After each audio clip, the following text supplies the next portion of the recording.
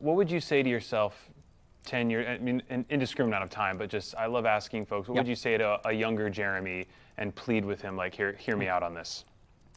Well, the, the first thing, and I've said this before publicly, but um, dreams are very good for getting you out of bed in the morning, but you can be a slave to your dreams. And one of, I think, the hard lessons that young Jeremy had to learn is to let his dreams die so that he could have the dream, like the actual dream. Um, you, you can't